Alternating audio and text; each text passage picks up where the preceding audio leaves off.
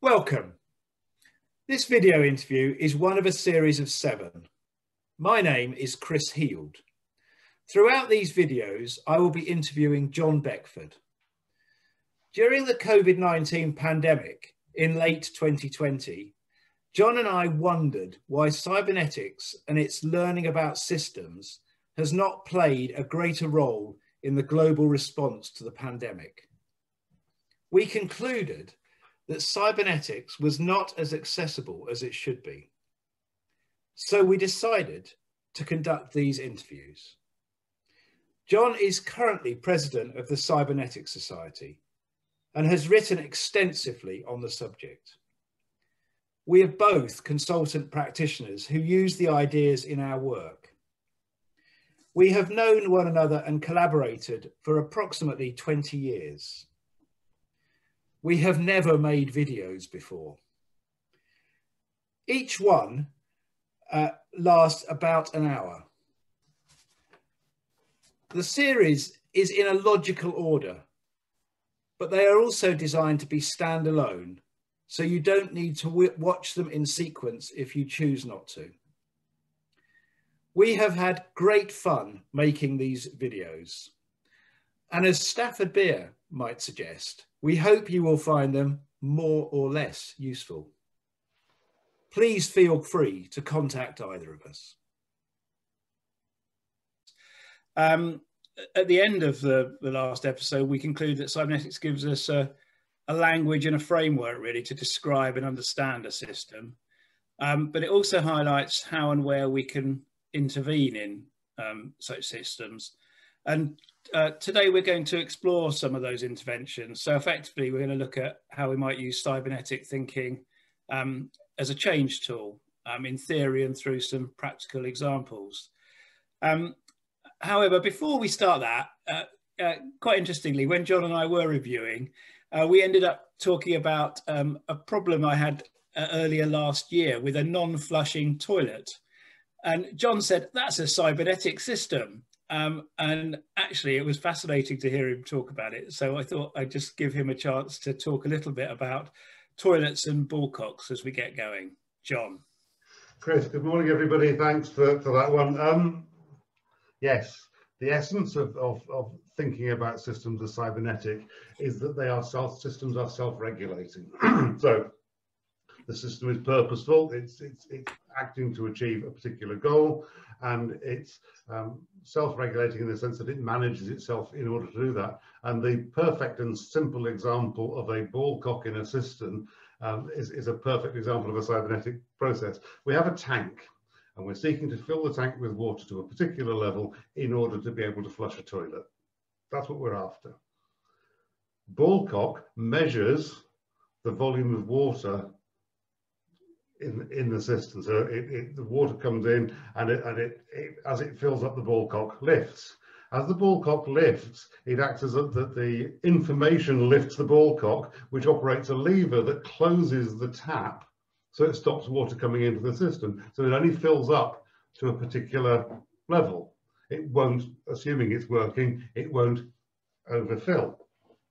When we flush the toilet, the tank empties the, the cybernetic valve drops down again, the, the, the ballcock drops again, opens the tap, lets the water in, and the system comes back up to the stable point where we want it, which is a full system ready to flush the toilet.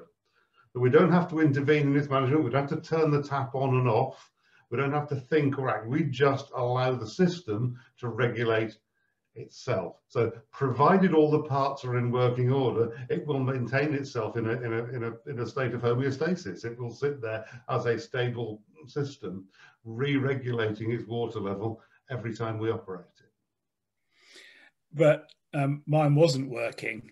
And if you recall, uh, it, it, had been completely fine until we had a, a break in service because of uh, a mains um, just along the road and it was uh, when the water came back on, and my analysis was that there was some kind of surge um, that caused the uh, some damage to that system. So then it stopped to function properly and was leaking. So, I mean, I guess that fits in with uh, sort of environmental part of cybernetics, does it? Is that? Um, there's, there's, there's, two levels. So your your your causation of failure might have been a surge of, of, of, water flushing back through the system when the when the system came back on, which could have caused a blockage in the pipework. It could have been of sufficient pressure to bend a bit of plastic, which is quite common. The bit of plastic itself may have bent. So what we're what we're looking at is, is saying we have a system, we understand how it should work, so what we're able to do is then diagnose what's wrong with it when it fails. So we can look at it and we can say, okay, it didn't let water in, or in your case, it let too much water in. Um, why did that happen? And we can look at the components of the system and go back to saying the stable state we want to achieve is a, is a stable level of water in the in the system.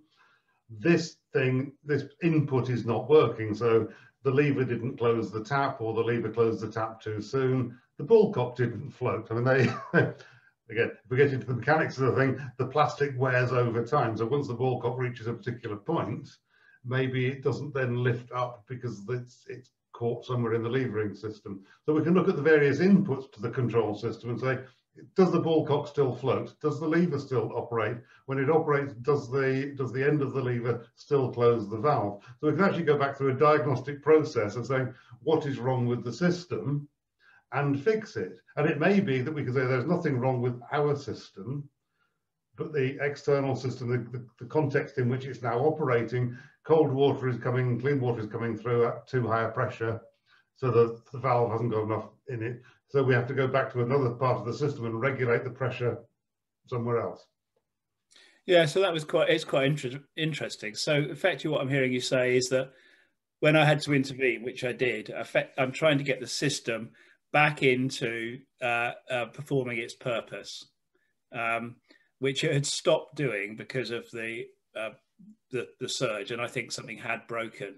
Um, but but so, you bring back can. I, can I come back in because it brings us to a really interesting and really useful distinction in cybernetic thinking. The early cybernetics, the, the very simple you know, self-regulating system that I've described, would be the sort of mechanistic cybernetic models that were being talked about in the 1930s and 40s that were applied to some quite complex problems such as you know, um, regulating the depth of water in a harbour and regulating the the, the, the, the, ballistics of a machine gun trying to attack an aircraft, and all sorts of other interesting things like that.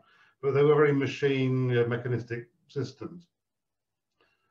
They were called first order cybernetic mechanisms second order cybernetics is what we're now talking about. And what we've done is we've shifted from observing the system to being part of the system so that our observer is also a part of the system that they're observing, which is a bit of a complicated story.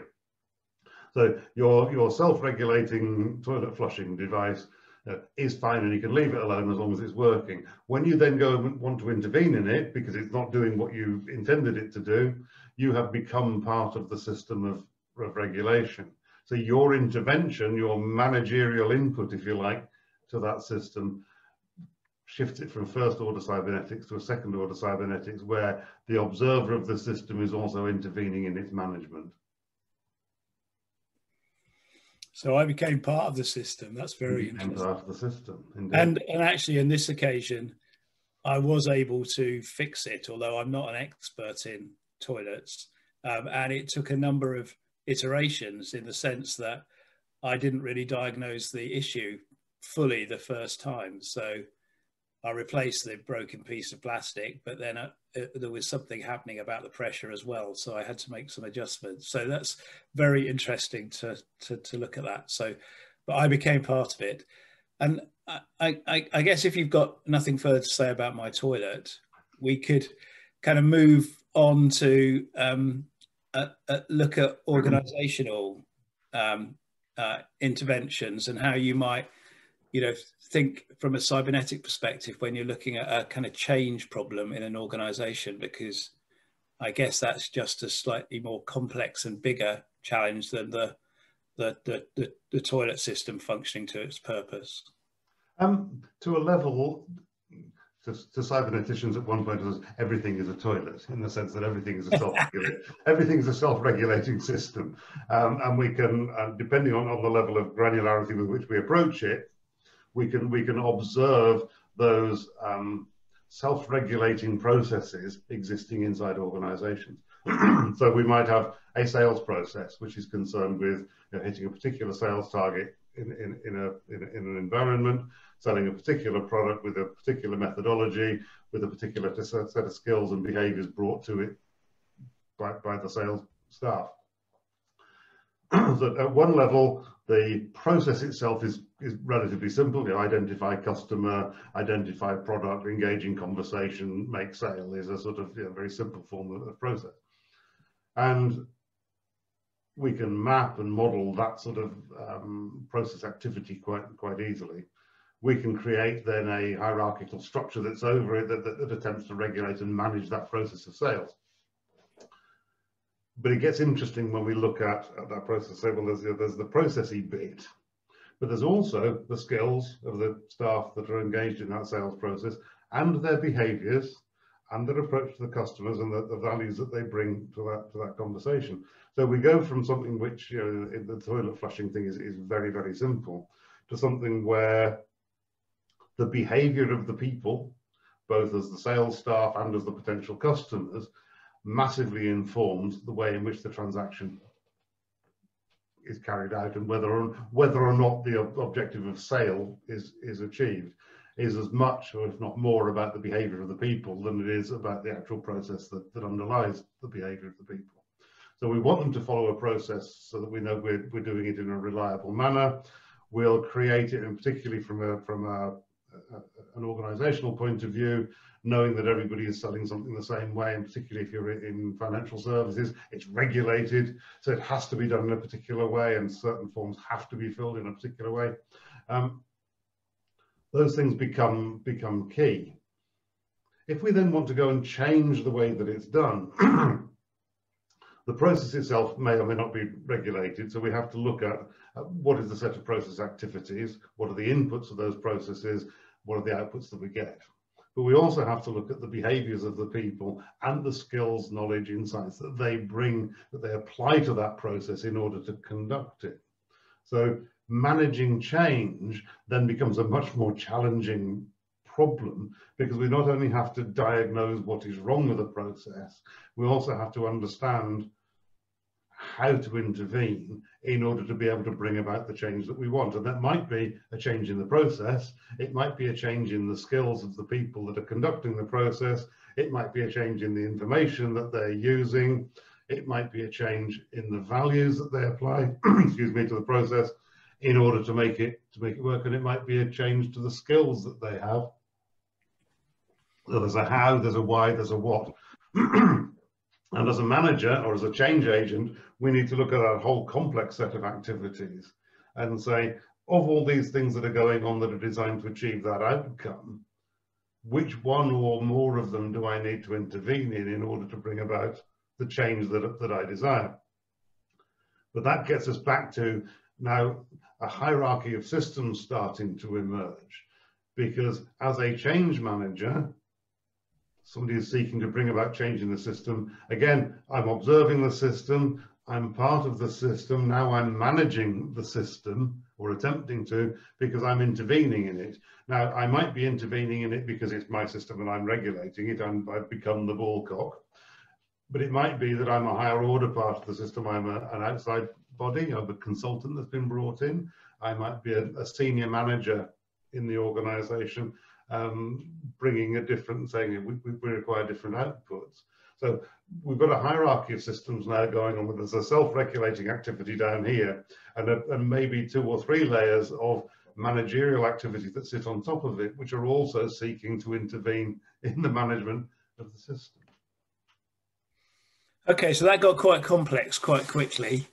Um, so, but but we started with a relatively simple sales system in this example. Yeah.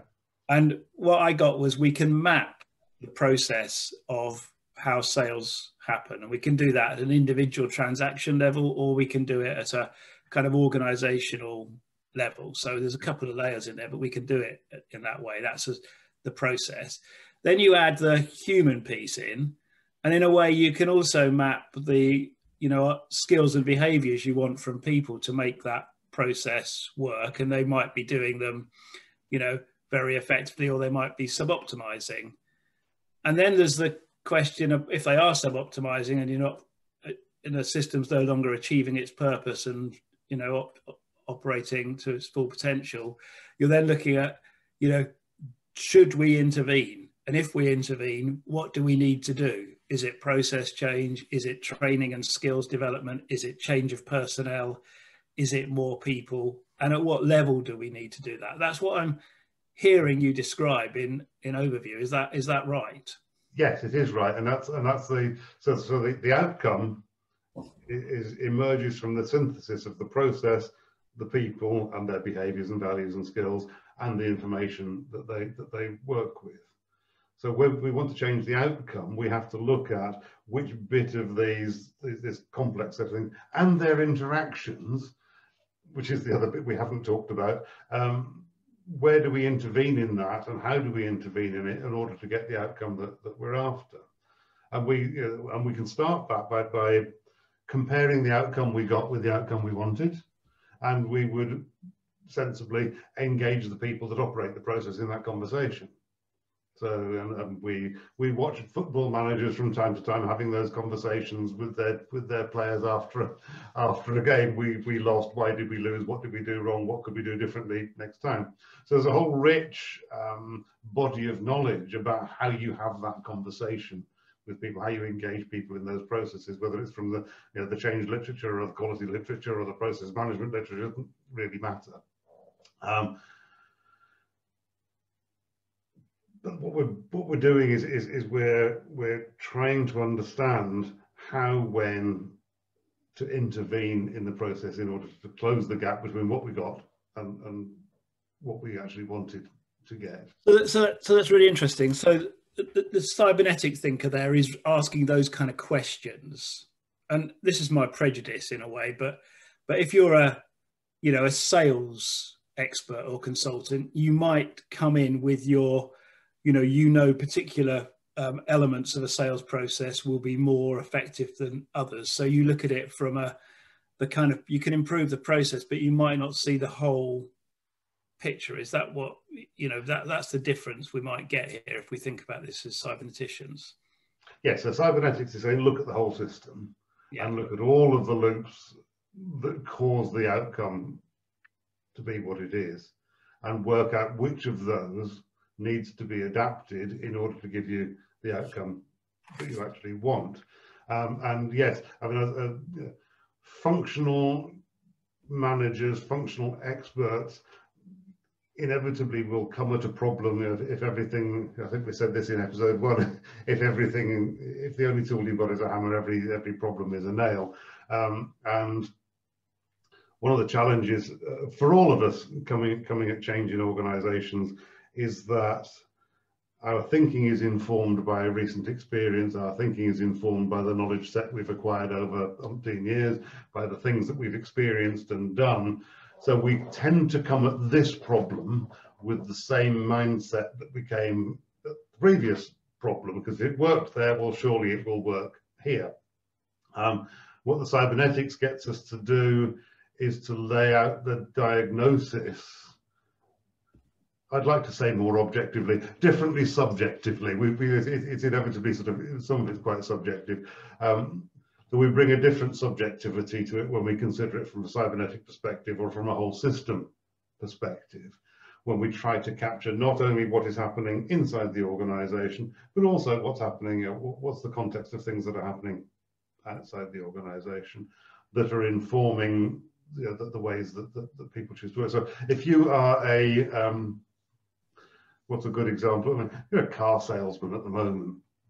Now, under COVID conditions, with car dealerships effectively closed to passing visitors, so you know, the whole sales process has changed, and, it, and it's no good um, wandering into a car dealership and teaching the salesman how to be better at dealing with customers face to face when they're not allowed to deal with customers face to face. So their, their sales problem at the moment needs a different diagnosis if you're a supermarket operator and people are shifting to online purchasing, you need a different sales model. So you can't fix the problem by doing more of the same or doing one one thing different. You actually have to think about the whole context of not only what is my process, but also how is the context into which that process is being applied changing, and deal with both of those aspects. So, um, and there's there's there's definitely something in there about you know transferable knowledge, isn't there, that we will you bring into the the the kind of process. You know, you you know, I'm thinking about my toilet again, but I definitely was transferring knowledge I'd got from problems around the household to this challenge. Um, and uh, um, and I, I, like your caution about um, it being objective, but what I'm what I'm saying here is that actually the ambition is to be as objective as possible when you're laying out what the the system looks like and you're diagnosing it. And there will be some lenses that mean it is it has that subjectivity, but you're trying to be as objective as you possibly can when you're doing that. I think is what you're you're saying.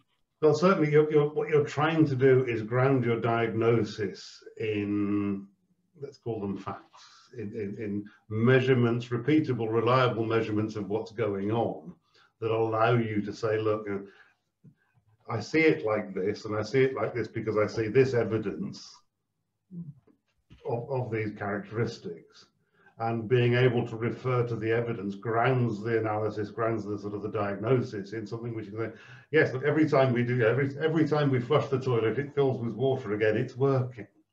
There's an objective measure of the level of water in the in the system. We don't actually have to know what the level of water is because it doesn't matter. What we have to know is the ball cock will shut off the valve when it gets to the appropriate point. So our diagnosis is kind of going, the toilet doesn't flush, the system's empty, why isn't the valve working? um, and, and, there's not there's not so much subjectivity. When you come to human systems, um, yeah. it, it's not just about the process. It's not just about the language we talked about. You know, we talked about you know, semantics last time. It's also about you know, my mood and your mood, and whether I'm in a mood to be satisfied by adequate or whether I want something more. And the nuance of the conversation becomes very rich. So, so we might. Um, it always made me laugh. Umpteen years ago, when when banks started to get excited about customer service, and one of the big banks um, started um, advertising that they answered the telephone within four rings. Um, and it was true, they did. The trouble was they never said anything useful when they picked the phone up. so yes, you could get through in the sense that you could start a conversation with the with the service provider. What you couldn't do was get any change brought about in the condition that you were addressing, because the person that picked up the phone was a phone picker up, but they weren't a problem solver. We see the same in um, call centers, and call centers are sort of notorious for this. Um, and, you know, there's sort of the, the, the stupidity of the way we manage organizations sometimes. So Call centers, uh, most organizations use forms of performance measurement and management in order to do the things that they believe are important. And a common one is the number of you know, the number of rings of the telephone or how quickly people answer the phone. But they also then get measured on how productive they are. And in call centers, commonly, and this is this is changing in fairness, but a common measure of performance in a call center is you know, how many calls are, are, are queuing up, but how quickly do you get the customer off the phone? and there's an escalation that happens. So you ring up a call center, and the first time you get through, oh, hello, Chris, how are you? And you have a good chat, and we talk about the problem, and they get you off the phone in one minute, having promised to solve your problem. But actually, they haven't. So the next time you ring up, it takes two minutes, and the time after that, it takes eight minutes, and the time after that, it takes 64 minutes. So the whole problem escalates because the performance measurement characteristic is focused on something that might serve the short-term interest of the organization, but doesn't actually meet the need of the customer. So uh, you may say I'm getting ahead of myself here, but the question that prompts in my head is when you're working with clients, how often is your intervention effectively about a kind of improvement or establishing a continuous improvement of the existing system? and how often do you think, well, the system's just in, inappropriate? We need to change this more radically and more fundamentally. Um, and when I ask that question, I've got, I've got in the back of my mind, I've got a conversation we had many years ago around a mutual client that probably should remain nameless, where their finance team had a thousand plus accountants in it. And, you know, I remember we had a conversation about what, you know, how do we improve the processes and systems within that team? And you said, well, why have we got a thousand in the first place? Maybe we need to be much more radical about this because maybe we only need 50 or 100 if we do this differently. So there, there are there are two levels of conversation that, that, that then go on with the client um, and, and, and, with, with the work that you're doing. Um, and conversation one is really saying, what is it you're trying to achieve? How is it you're going about trying to achieve it? So you're looking at, does this process that you've got actually answer the question that you, that you set yourself in the first place? Can this process generate the outcome that you want? And if it can, then you have a, um, you, know, you can have a look at how does that process operate? How might I improve it? So you can look at things from a, from a, like a continuous improvement point of view. How do I make this process better? And the objective of that is relatively short term, and it's about improvements in, let's call it, you know, productivity or efficiency. When you start to examine how the process is operating, you might start to consider, well, in the light of, for example, uh, emerging technologies, is this the best way to do it? Have we got, the process might be fit for purpose, but might there be a different or better way of doing it, taking advantage of, of things that have happened outside the organization in, in subsequent So far from then saying, let's do things better, we might say, let's do better things. So we might say, um, and, and, taking that particular example, the accounting is, is, is, is stuck in, um, let's call it a madness of tradition about the way that it does things that it captures data in a particular way, it stores it, structures it, and, and, and sums it in particular ways that meet a whole bunch of, of, of external regulatory requirements. And that's fine, that has to be done. But the technology that enables it, or enabled it 50, 60 years ago, was um, traditional forms of bookkeeping. And what we've done in, in the 50 years since is we've made electronic forms of bookkeeping that follow the same process, that follow the same structures, that follow the same rules. Um, what we haven't done is rethought how that process could work. We've taken the old process, the manual process, the analog process, and embedded it in a digital system. Instead of saying, hmm, if we were inventing this today to achieve that outcome, what could the process look like given the capability of the technology?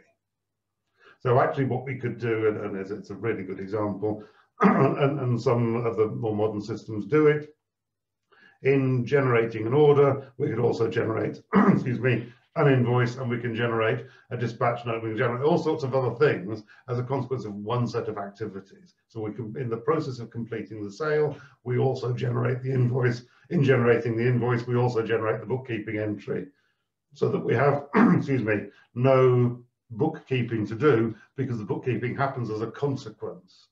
When we look at um, a really large scale finance operation in, in, in, a big business, um, we find that there is the opportunity to fundamentally rethink what is being done because the number of things going on. Number one, unless we change the process the outcome next year will be more or less the same as the outcome this year, depending on the number of widgets that we put into the front of a manufacturing machine. So when we come to budget for a big organization, we can do budgets in one of two ways. We can have thousands of budget meetings with thousands of people in thousands of locations for hours upon hours. Or we can say, hmm, what was what did we actually do last year? And how many you know how many units of whatever did we did we produce? How many units of whatever are we intending to produce next year? And given that we have the same process the number of units that we're planning to produce will drive the budget that we need to have.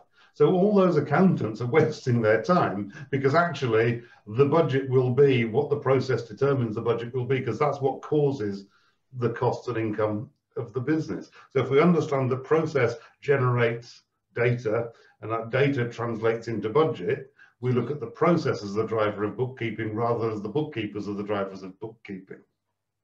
When we do that, what we want our accountants to do is validate whether the numbers that are coming out of the system are correct.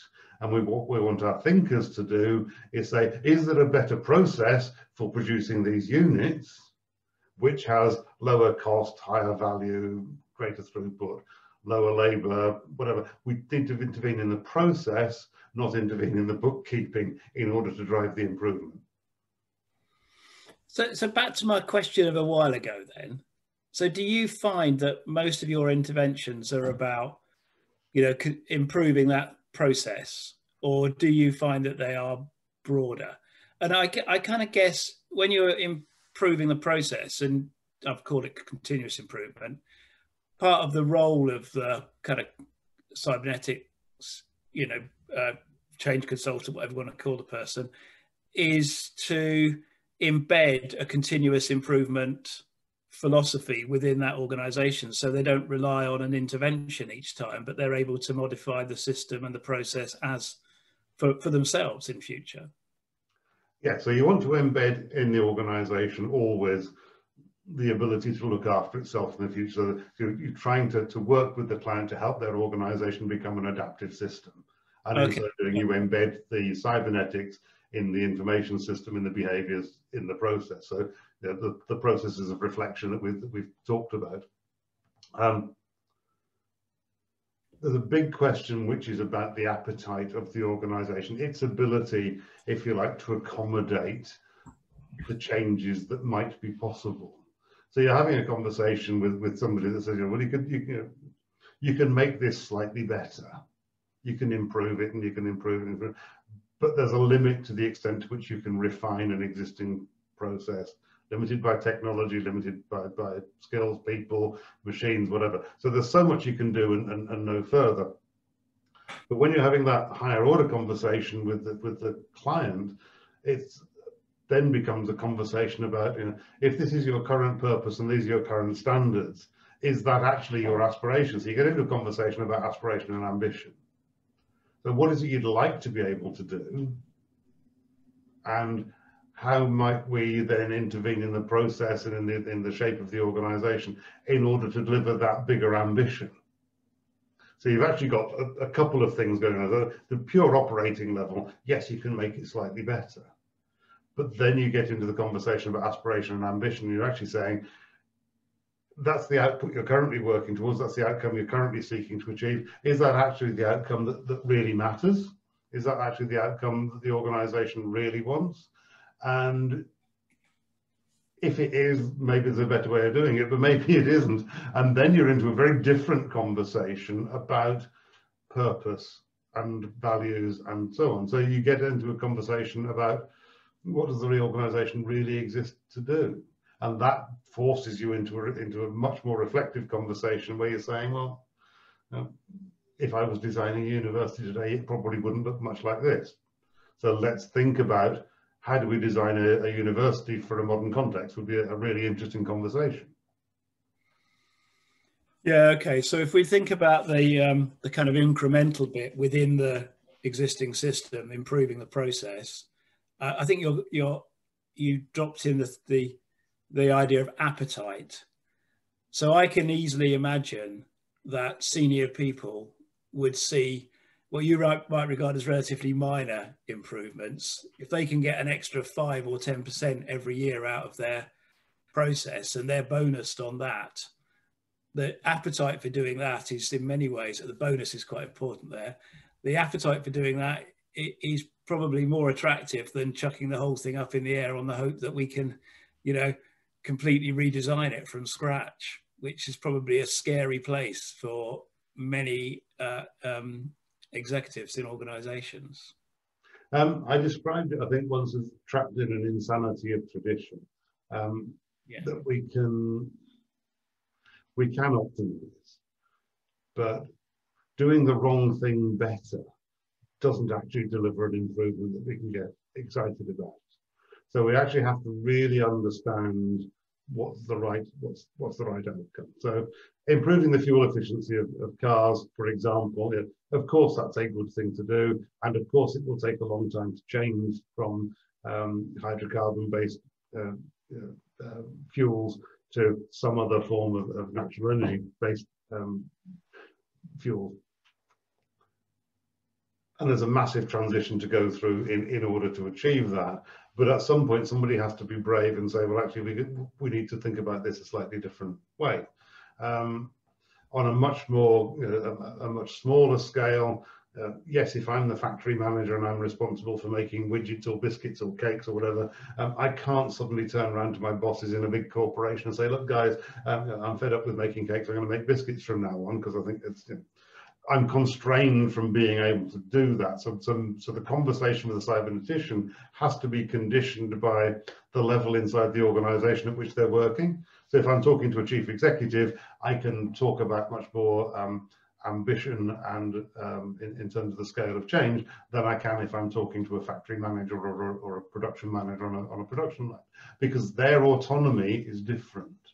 So we have to then start thinking about our organizations, not just in terms of, of the hierarchy, which which is inevitable, but actually the freedoms that go with the roles and responsibilities that people have within an organization. So it's no good me talking about uh, overthrowing the, the current paradigm if what I'm doing is, is, is talking to people who have no um, freedom to make that change. So there's a conditioning that goes on in, in understanding that. And yes, the ambition and the appetite, and I'm doing some work at the moment where the appetite is to deliver a fundamental transformation in the way an organization thinks about the way it sets up and manages its assets. And that is something which has been sanctioned at the highest level within the organization. It has significant resource behind it. So you can have a much more ambitious conversation um, than you otherwise could, where somebody says, well, actually, we just need to get through till Friday. So, that requires a high degree of courage and bravery to do that. Um, I think that's really interesting. The, the whole notion of, of, of, courage is interesting, isn't it? Um, is it more courageous to make the change or to not make the change? I think is an interesting sort of philosophical point. If you can see that it's going wrong, if you can see it's not delivering the outcome that in your heart, your mind, you believe is appropriate, then I think you have an obligation to challenge it because I think not everybody, not everybody comes at it with the same um, insights. If you have an insight that, that shows something um, different in terms of ambition, then it's right to share it. They don't have to listen. Commonly, my experience over 30 years is sometimes they don't listen, um, and that's that's fine. That's that's their prerogative. But I do think as a, as a you know, as somebody intervening in the organisation, you have an you have an obligation to share the insight and to try and be persuasive about about what they might do differently. And I come back to the um, you know, to the bonuses. Behavioral economics says people do what they're rewarded for. So actually, one of the things we have in in, in um, when we start to look at organisations in their totality is we also have to look at the reward system, both financial and non-financial, intrinsic and extrinsic, and say, uh, if people are doing what they're rewarded for, then let's make sure we've created a reward system that encourages the things that we want to see. Because if, if we set up something that says, we need this massive change over here, but I'm going to punish you every time you change something because I'll take away your bonus, you're not going to get the change that you want. So, um, um, wants to just separate you from others that might work with cybernetics because what I hear is that you would very much have the aspiration to work with the whole system and challenge that. And I guess all that work with cybernetics would see it and hope to challenge it. But I guess also that lots of people could do really good work about process and system improvement without necessarily uh, having the relationship with the chief executive or the person that is overseeing the whole system. It's not you don't have to have that relationship to be a, a practitioner with cybernetics, do you? No, you don't. Um, what shifts is the is the ability to um, genuinely change the organization. So you can deliver improvement um, in a constrained context. So, so you know, my, my, my early work, you know, literally you know, on the production line in a cake factory, trying to find ways of working with this production line to, to shift productivity. And it was enormous fun. It used exactly the same principles about understanding the, the, the information flows and the feedback loops and so on. But it was done at the level of, of 50 cake makers on a, on a production line. Um, it delivered, well, the maximum we got to was 40%. improvement and that that and applying these ideas about information that was massively beneficial for the factory. Um, it was massively beneficial in terms of sustaining employment as well as increasing productivity and so on. So so the profitability of the factory got better which meant the jobs were secure which is which is, is, is a very good outcome.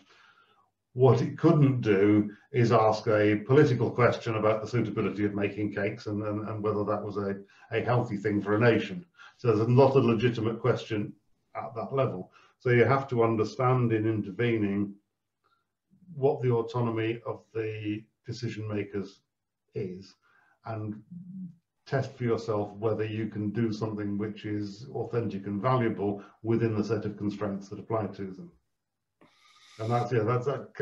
And even a chief executive, that can be a, that can be an interesting an interesting and challenging conversation because of course chief executives don't have anywhere near as much freedom as either they or we like to think they have much, yeah, yeah, yeah. no but I, but I, I but i what i take from your answer there is that if, if, if you've got awareness of cybernetics then you should be able to provide the insights to the organization of what you see and you'll have awareness of the wider system but you can still choose to support an intervention that might be about improving a particular process within that wider system um, and do good things with that. And then it's a matter of finding the right people at the right time to have the conversations about the the, the, the more fundamental system change and the kind of purpose of the organization. Um, there's a couple of things that uh, you, that um, uh, I've heard you talk about in these conversations, but also in the past, that I wonder if we ought to think about when we think about that whole organization. So I've heard you talk a lot about potential and rather than looking about incremental improvement, how do we actually see what's possible and the potential of an organization? So that's one thing. And then the second thing I've seen you talk about, and you referenced it before, was about how when you're looking at a whole organization, how you diagnose how that whole organization interacts in terms of its future, present, and making choices about the now and the, the future. And I'm, I'm aware we've, you know, we might come back to those in subsequent conversations, but but they feel relevant to whole organization interventions. So maybe you could comment a bit. Um, so, so, a couple of teasers then for the next episode is what is what that feels like. Um, okay. no, that's that's completely fine, but oh, well, because they're both they're both very big topics, um, okay. so uh, trying to do justice to them in short time doesn't really work. So, um, an organisation, as it stands today, any organisation um, with its processes, its systems, its people, its behaviours, etc., um, should be able to provide a pretty objective statement about its its capacity, its ability to do things, whatever those things are, whether it's making widgets or providing banking services, or it doesn't really matter. It should be able to say, with these resources configured in this way, we can do this much of this thing. In order to understand its performance, it then should measure what it actually does against what it said it's capable of doing. And the measure of those two things set against each other is, is something we call efficiency or productivity. How much work did the, did the resources actually do relative to what they could have done? And that's fine. Those resources, though, those systems, those processes, those machines, those, those activities, those skills, those behaviors are configured in a particular way. And that constrains what can be done with them. So the exploration of potential says this is the current capability under current circumstances, under current configurations. However, if we changed something, if we overcame some of those constraints, if we had bigger machines, faster machines, different machines, if we adopted a different process, could we have more capacity? So that's the potential. It's looking at that and saying, hmm, if we did things differently, applied a different technology maybe, perhaps we could we could get more value out of that same set of resources. So we then have a gap between our capability and our potential, so that's the latency of the organisation. It's latent value embedded in what we've got that we're not yet able to realise. So we've now got two things we want to manage. We've got managing productivity, doing things better, the gap between actual and capable, and we've got um, latency, doing better things, the gap between current capability and potential. And when we bring all that together, we have a measure of the overall effectiveness of the organization, not just against what it does do, but against what it could do. So in the first, oh, in the first of those, you you know, in in my kind of simple terms, you might look at you know best day or best hour or best week of production and wonder why you can't replicate that every day, month, or week of the year, and that shows you a kind of clear difference. What's been happening in those periods that mean we're, uh, you know, not as productive as we might be. And in the second, that, that, that, that's right. And, and, some of that might be absolutely um, measurable. So you know, a machine may produce a maximum of X tons of, of whatever per week because that's just inherent in the design of the machine. So we might have some things which are pretty much fixed in that regard, and we might have some things which are, as you said, experiential. Our best ever day was this. Why? Yeah, and then in the second case, actually, you can see that technology, other technology or other thinking could improve what we're doing. So by by by making changes there, we can get much more out of the the. the so we might have people that are much capable of doing more if they're given the the the the, the means to to actually do that. No, absolutely, and I think I think you've nailed it there. With for me, the the biggest frustration in most of the organizations that I've worked with is their inability to exploit the capability of the people that they employ. So actually you find very, very capable people who are constrained by the processes in which they're in which they're obliged to operate. So there's something there which is which is really, really important. On the on the other on the second question, um, Pete Dudley's trialogue, which I know you're familiar with and, and which will will explode the minds of various listeners, um, says that any organization has to do three things simultaneously. It has to manage its present, it has to create its future, and it has to nurture its identity. So the first of those things is, is, is about, it's back to flushing the toilet. It's about maintaining the water level in the system. So managing the present is all about doing as well as you can the job that you've currently got. Creating the future is about understanding the possibility space for things you might do in the future, for other ways of being, other ways of acting, other products, other services, other clients, and understanding how what we currently do might meet the needs of people we don't currently serve, or how the needs of people we don't currently serve might get translated into products and services, for example, that we might create. So we have two things going. We're saying uh, we want to be better at what we're doing. We want to be doing different things. And so that inevitably sets up a tension between the two parts of, uh, of the conversation. And we resolve that conversation by reference to what, what we call the identity of the organization. This idea that um, the values, beliefs, aspirations, ambition of the people that create the organization effectively act as an arbiter between those two competing sets of, of, demands. So do we do more of this? Do we improve that? Is driven by the values of the people that actually make that decision. So have a conversation in at least three parts, which is uh, which is about the current, about tomorrow, and about the why, about how we choose between those those options. And those are very values driven um, decisions. Um, that's part of a model called the viable system model, which which I've spent a lot of time working on, and undoubtedly we will come back to. It's the critical model in organizational cybernetics if we if we choose to distinguish that from from other branches of the of the thinking and that's probably mainly what we're talking about now and that's probably is enough for today because, as you say, those concepts of potential and trialogue and the VSM uh, probably will well they, they do warrant an, an episode that addresses them more fully. And I think that's probably where we will will will go next. But for today thank you. There's lots of uh, really interesting examples that we've covered today about um, you know how we can use our cybernetic thinking to um, uh, to both diagnose and then decide whether and how to intervene in a in a in a uh, a, a, system and some of the things that might